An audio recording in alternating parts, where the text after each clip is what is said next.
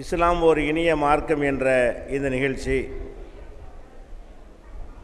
இஸ்லாம் குறித்தும் முஸ்லீம்களை குறித்தும் முஸ்லீம் அல்லாத மக்களுக்கு இருக்கின்ற சந்தேகங்களை தெளிவுபடுத்துவதற்காக நடத்தப்பட்டு வருகின்ற நிகழ்ச்சி. இதில் முழுக்க முழுக்க உங்களுடைய கேள்விகளுக்கு பதில் சொல்வது நோக்கமாக இருந்தாலும் இஸ்லாத்தை பற்றி ஒரு அறிமுக உரையை நிகழ்த்திவிட்டு கேள்வி பதிலுக்குள்ளே நாம் செல்லலாம். இஸ்லாம் மார்க்கம் என்றால் ஒரு கடவுளை மட்டும் நம்ப சொல்லுகிற ஒரு மார்க்கம். எல்லா மதங்களிலுமே கடவுள் நம்பிக்கை தான் அதுக்கு அடிப்படையாக இருக்கும்.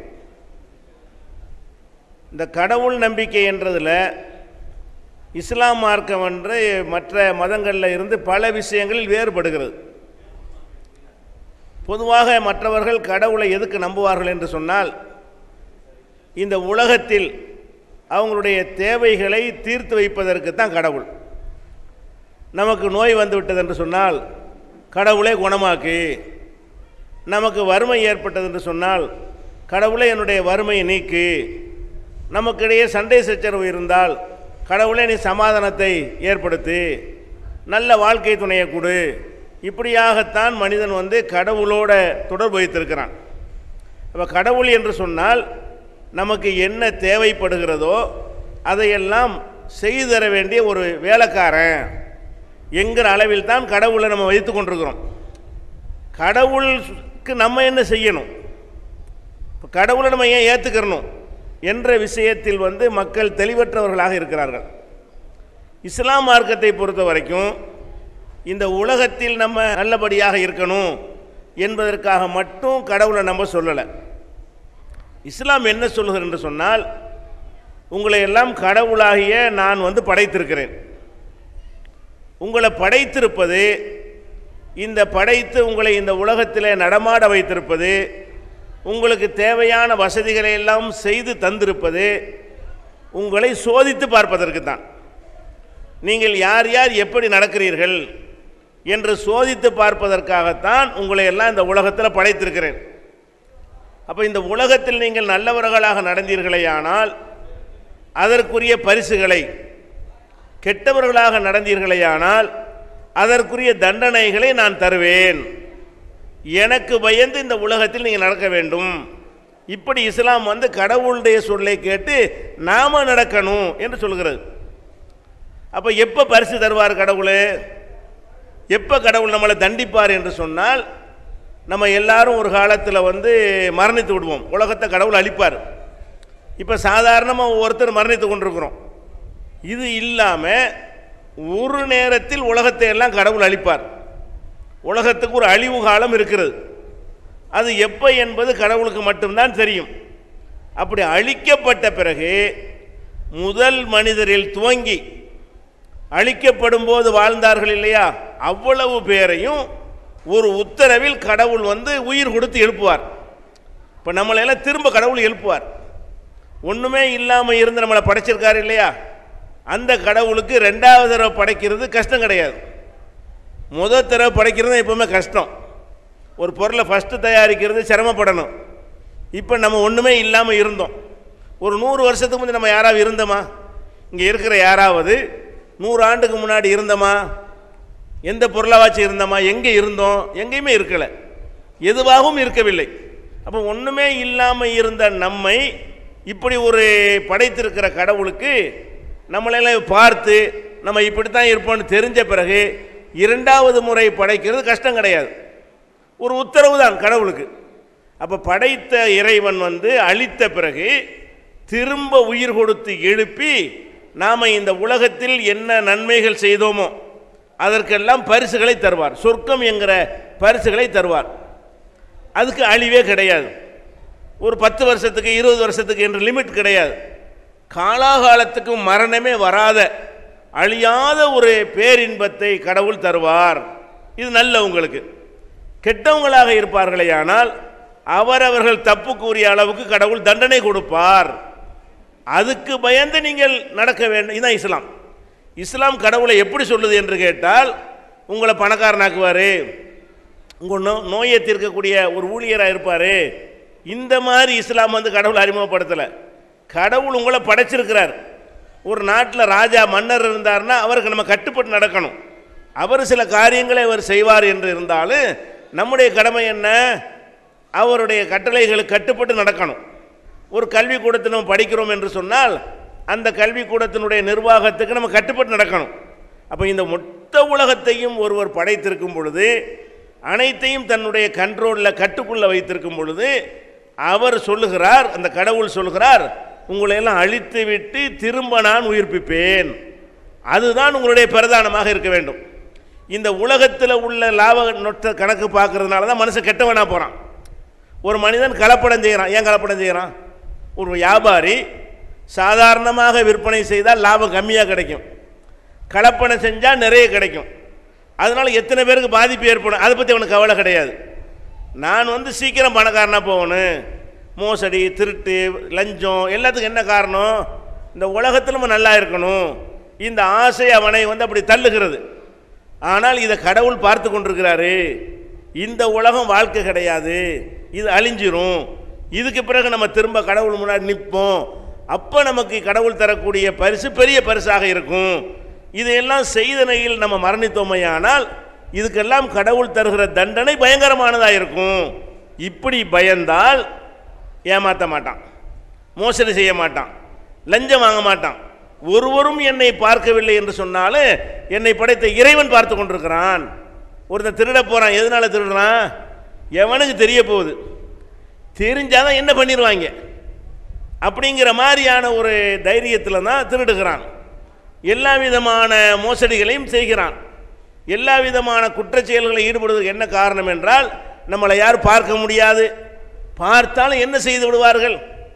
அவர்கள்ட்ட தப்பிக்கிறதுக்குரிய வழி நமக்கு தெரியும்.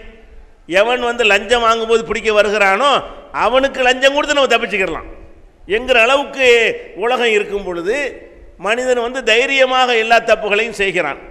அப்போ நம்மளை கடவுள் ஒருத்தங்க இருக்கிறான் பார்த்து கொண்டிருக்கிறான். அவனுக்கு பயந்து இந்த உலகத்தில் நடக்கணும். அதுதான் நம்ம லட்சியமாக இருக்கணும். இந்த உலகத்தில் சில கஷ்டங்கள் வரும். நல்லவனாக வாழ்ந்தால் கஷ்டமாக தான் இருக்கும். கலப்பணம் செஞ்சால் கடத்தல் பண்ணால் ஏமாத்துதுனா மோசடி செஞ்சால் டபுளிங் பண்ணால் நிறைய பணக்காரனாகலாம் நேர்மையாக முறையாக வியாபாரம் செய்தால் முறையாக ஒரு தொழில் செய்தால் முறையாக ஒரு இடத்துல வேலைக்கு சேர்ந்தால் அதிகமாக சம்பாதிக்க முடியாது.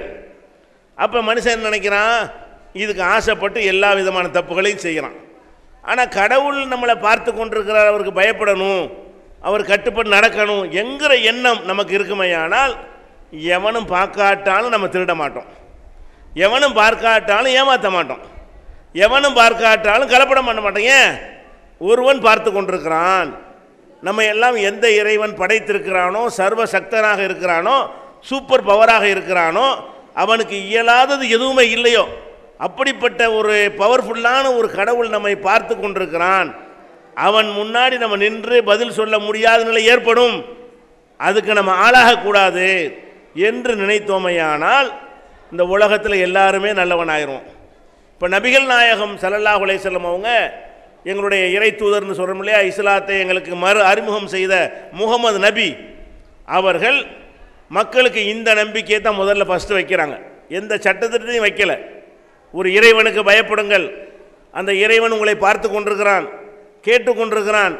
அவன் சொல்லுக்கு கட்டுப்படுங்கள். இந்த உலகத்தில் எவ்வளவு சிரமங்கள் வந்தாலும் இதற்கெல்லாம் பரிசு எங்கே இருக்கிறது? எவ்வளோ சுகங்கள் இங்கே கிடைத்தாலும் அது முறைகேடாக கிடைக்குமேயானால் அதற்கெல்லாம் தண்டனை இருக்கிறது. என்று முகமது நபி அவர்கள் பிரச்சாரம் செய்து அந்த மக்களுடைய உள்ளத்தில் ஆழமான இந்த நம்பிக்கையை விதைத்த பிறகு ஒவ்வொரு சட்டமாக போடுகிறார்கள். இன்று முதல் மதுபானம் தடை. ஒருத்தர் குடிக்கலை. மதுபானத்திலே ஊறிப்போன அந்த மக்கள் இன்று முதல் இறைவன் உங்களுக்கு மதுபானத்தை தடை செய்கிறான் என்று சொன்ன உடனே அந்த நிமிடமே மதீனா வீதிகளெங்கும் மதுபான ஆறாக ஓடுகிறது. இருந்த மதுவையெல்லாம் தெருவில் கொண்டு வந்து கொட்டுகிறார்கள். ஏன்? இந்த மதுவை கடவுள் நமக்கு தடை செய்கிறார். இதை நம்ம சாப்பிட்டால் கடவுளுக்கு பதில் சொல்லி ஆக வேண்டும். அதில் ஒரு போதை ஒரு கிக்கு கிடைத்தாலும் அதில் ஒரு இன்பம் இருப்பதை போல ஒரு மாயத்தோற்றம் ஏற்பட்டாலும் இது கடவுளுக்கு பிடிக்காத ஒரு காரியம். இதற்கு கடவுளிடத்திலே தண்டனை உண்டு என்ற ஒரு பயத்தை அந்த மக்கள் மத்தியில் ஏற்கனவே விதைத்திருந்த காரணத்தினால் ஒரு உத்தரவு தான் மதுவை அனைவரும் கைகழுவினார்கள் நபிகள் நாயகம் காலத்தில் ஒருவர் கூட குடிகாரராக இருக்கவில்லை. ஒருத்தர் கூட குடிக்கவில்லை. இந்த சட்டம் வந்த பிறகு. இந்த சட்டம் வருவதற்கு முந்தி குடித்து கொண்டே தான் இருந்தார்கள். அப்போ குடித்து கொண்டே வந்த மக்கள் எதனால் அந்த குடியை விட்டார்கள்? படைத்தவன் நம்மளை பார்த்து கண்கா அவன் எஜமான் இருக்கிறான். நம்ம கடவுளை வேலைக்கார மாதிரி நினைக்கிறோம். நம்ம என்ன நினைக்கிறோம்? அஹ், புள்ள வேணா கடவுள் வேணும். பணம் வேணா கடவுள் நீங்கள் என்ன கடவுளுக்கு செய்வ? ஒன்றும் கிடையாது. அப்போ கடவுளுக்கு நம்ம எதுவுமே செய்யாமல் கடவுளுக்கு வந்து ஒரு வேலைக்கார மாதிரி நாங்கள் சொன்னதெல்லாம் செஞ்சு தரணும். என்கிற நிலையில் இருந்த மக்களை மாற்றி அமைத்து கடவுளுக்கு நீ வேலைக்காரன். கடவுள் எஜமான். நீ அடிமை. அவன் இல்லாட்டி உன்னை யார் நீ உருவாயிருக்க முடியாது என்று உண்டாக்குன காரணத்தினால தான் வட்டியை தடைன்னு சொன்னாங்க. வட்டி இனிமேல் தடுக்கப்படுகிறதுன்னாங்க. ஒரு வார்த்தை தான். எல்லாரும் விட்டாங்களே? நபிகள் நாயகம் காலத்தில் யாரெல்லாம் வட்டி வாங்கி கொண்டிருந்தார்களோ ஒரு உத்தரவு போடுகிறார்கள் வட்டியை விட்டு விலகி விட்டார்கள். ஏன் விலகினார்கள்? வட்டியினால் நிறைய பணம் கிடைக்கத்தானே செய்யும். சுருக்கமாக குறுக்கூலியில் சம்பாதிக்கலாமே? சீக்கிரம் பணக்காரன் ஆகலாமே என்று நினைக்க நினைக்காமல் அல்ல வேணான்ட்டான். இறைவன் தடை செய்து விட்டான். அந்த வட்டி எனக்கு தேவையில்லை. இப்படி அவர்கள் நடக்க முடிந்தது. இன்றைக்கு கூட நீங்கள் பார்க்கலாம். இஸ்லாத்தை பிற பிறப்பின் அடிப்படையில் சில முஸ்லீம்கள் இருக்கிறார்கள். இஸ்லாத்தை விளங்காமல் எங்கள் அப்பா முஸ்லீம் அதனால் நானும் முஸ்லீமு. எங்கள் பாட்டன் முஸ்லீம் அதனால் நானும் முஸ்லீம்மா. அவனுக்கு இஸ்லாத்தினுடைய எந்த ஒரு அடிப்படையும் தெரியாது. முஸ்லீமின் பேரை வச்சுக்கிட்டு தண்ணி அடிப்பான். முஸ்லீம் என்று வைத்துக்கொண்டு எல்லா விதமான தப்புகளும் செய்வான் மோசடி எல்லாம் பண்ணுவான். அவனை விட்டுருங்க. நம்பக்கூடிய முஸ்லீம்கள் இருக்கிறார்கள். இஸ்லாத்தை புரிந்து விளங்கி குரானை படித்து எதெல்லாம் குரானில் தடுக்கப்பட்டிருக்கிறதோ அதையெல்லாம் நம்ம விலகி கொள்ள வேண்டும் என்று நினைக்கக்கூடிய மக்கள் இன்றைக்கும் இருக்கிறார்கள். இன்றைக்கு இந்த மக்கள் நம்ம இந்தியாவில் பல்லாயிரம் கோடி ரூபாய்கள் வட்டியாக முஸ்லீம்கள் போட்ட பணத்திற்கு வங்கிகளில் வட்டி கொடுக்குறாங்கல்ல. அது எடுக்கப்படாமல் வங்கிகளில் தேங்கி இருக்குது பணம் எவ்வளோ ஆசையாக இருக்கும்? இறைவன் தடுத்துட்டான். என் பணத்தை எனக்கு கொடு. எனக்காக நீ போட்டு வைத்திருக்க வட்டி எனக்கு தேவையில்லை என்று எழுதி கொடுத்து பல்லாயிரம் கோடி இருக்கிறது.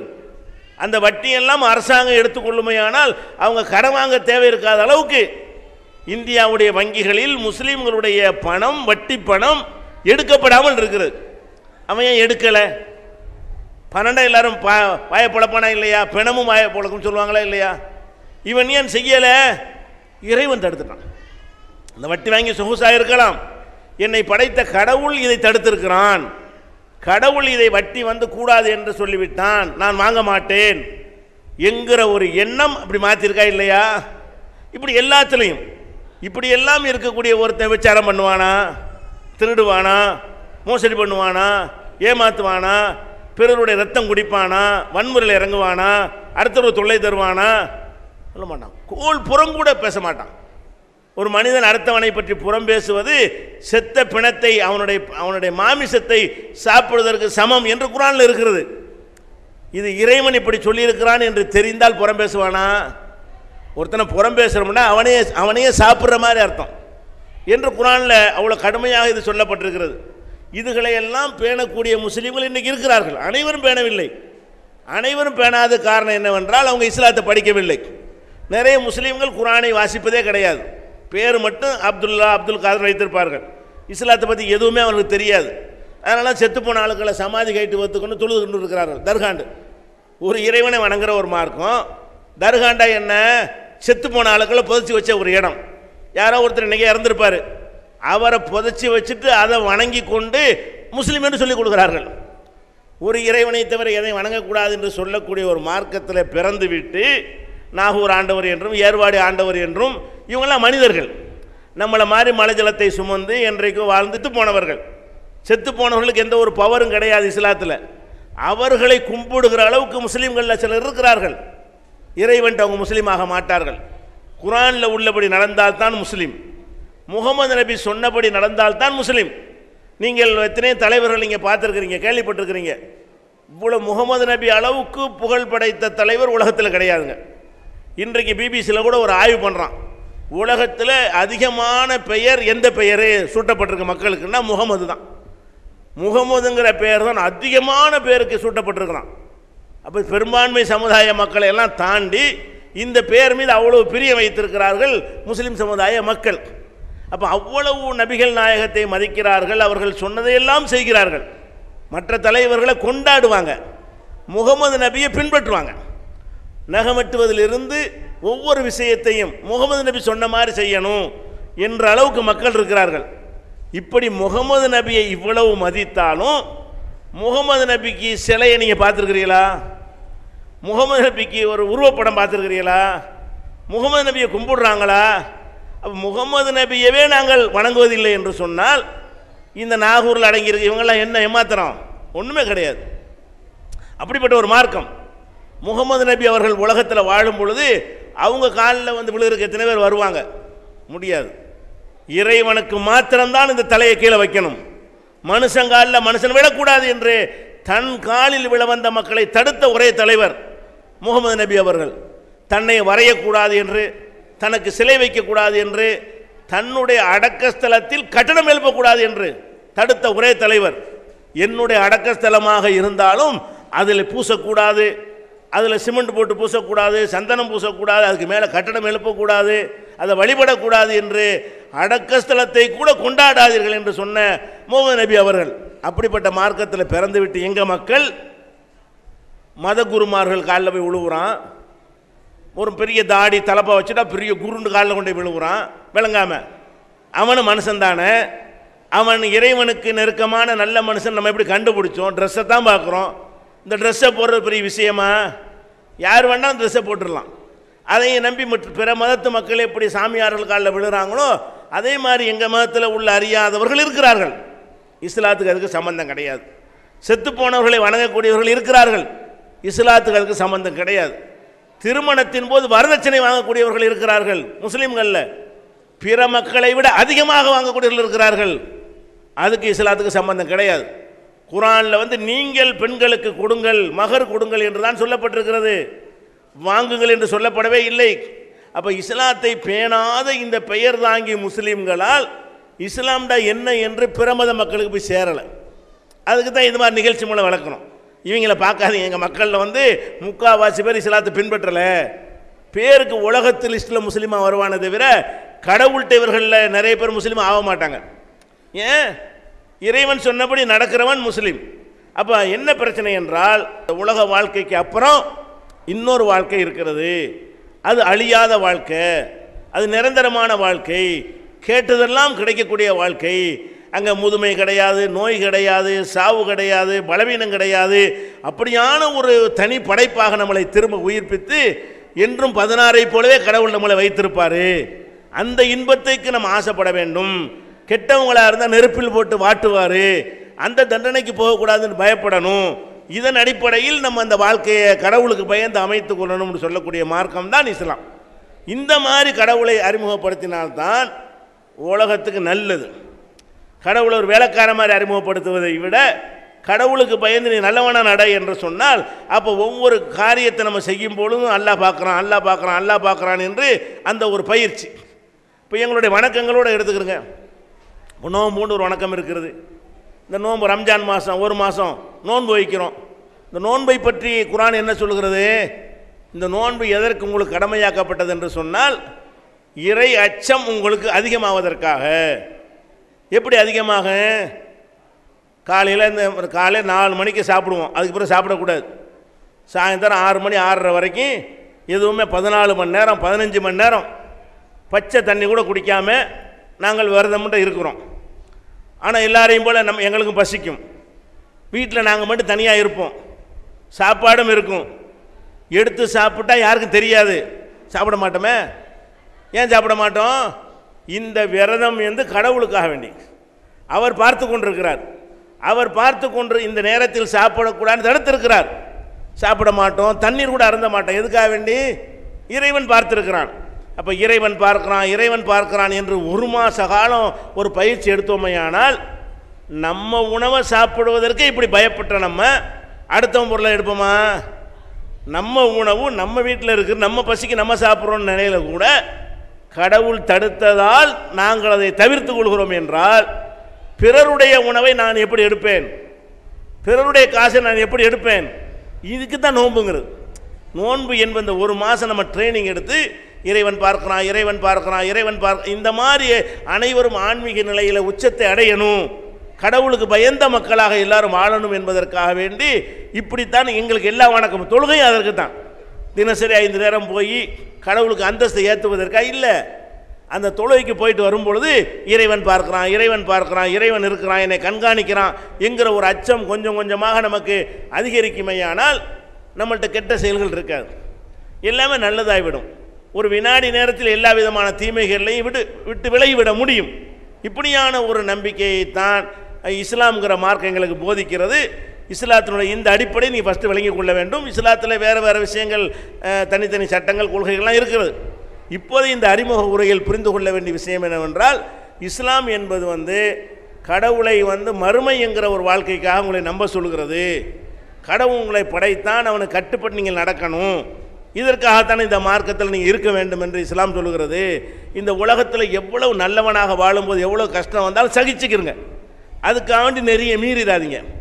வரம்பு மீறிடாதீங்க தப்பு செஞ்சிடாதீங்க என்று சொல்லி நல்லவனாக உலக மக்கள் வாழ்வதற்கு பயிற்சி அளிக்கிறது. இந்த அறிமுகத்தை வழங்கி கொண்டு நம்ம கேள்வி பதிலுக்குள்ளே போய் செல்லலாம். என் பேர் பிரேம்